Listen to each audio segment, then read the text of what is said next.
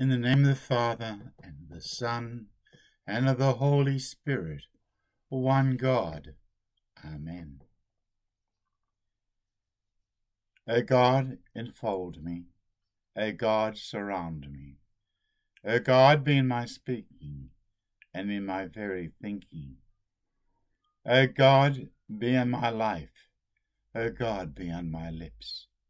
O God, be in my soul and in my very heart. Circle me, Lord, protect me and keep me keep danger afar.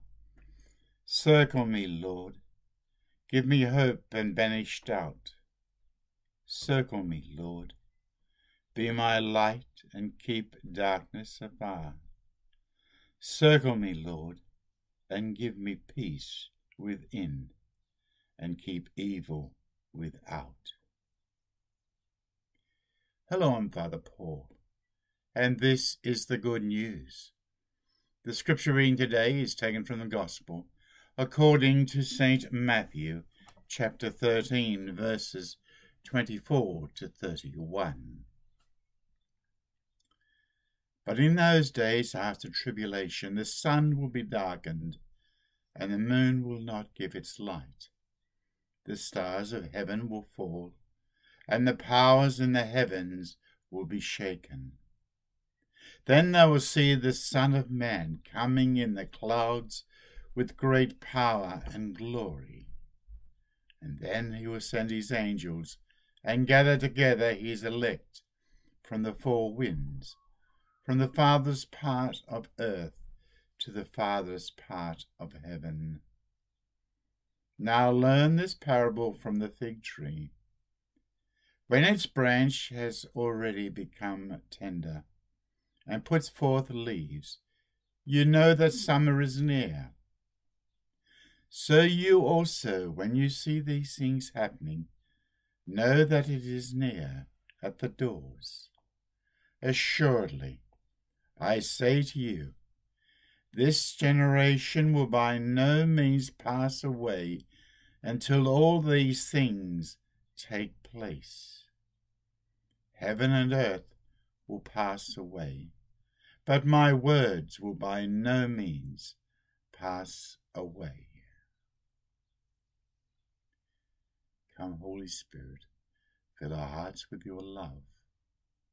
Open our eyes and our ears to your teachings, that we can understand your word.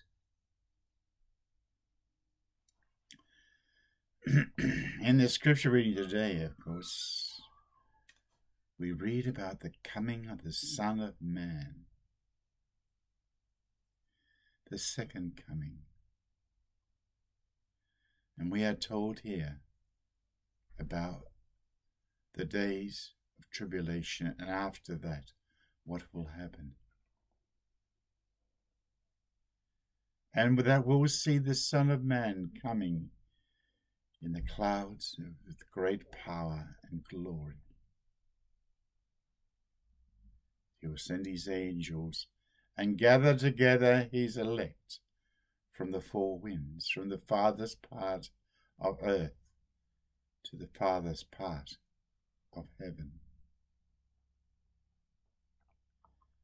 When will he return? Is the question. Now Jesus said, Learn this parable from the fig tree. When its branches has already become tender and put forth leaves, you know that summer is near. So also, when you see these things happening, know that it is near at the doors. Assuredly, I say to you, this generation by no means pass away until all these things take place. We have been told of the signs of when this is happening. When Jesus will come again in all his glory. That will then be, of course, Judgment Day.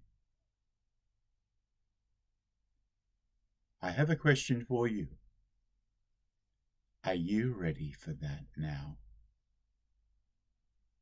Because we do not know when this is going to happen. Jesus told us that. Only the Father knows. Only the Father knows when Jesus will come again for the day of judgment on all of us. It's a time, right now, not later, now, to repent of your worldly ways, of the many times that you have turned your back on God. And went with the world. As we have been told many times to repent of this way. It is not a godly way. Repent. The forerunner, John the Baptist, told the people when he was baptizing them to repent. So too did Christ. He came he became incarnate.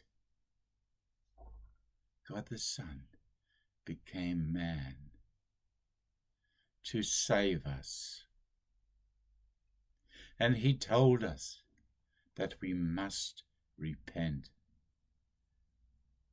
just like the forerunner did. Turn back to God is the message is the important message for us all to learn, to understand, and to do. In the season of Advent, it is a time for us to set aside,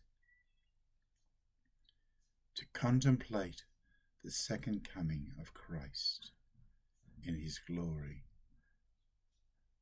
it is a time for us to repent of our worldly ways and turn back to God. So important for us to remember this. So important. Christ before me, Christ behind me, Christ above me, Christ beneath me. Christ on my right, Christ on my left, Christ around me, Christ within me, Christ to guide me, Christ to guard me, Christ to forgive and heal me, Christ to love me. Glory to God for all things.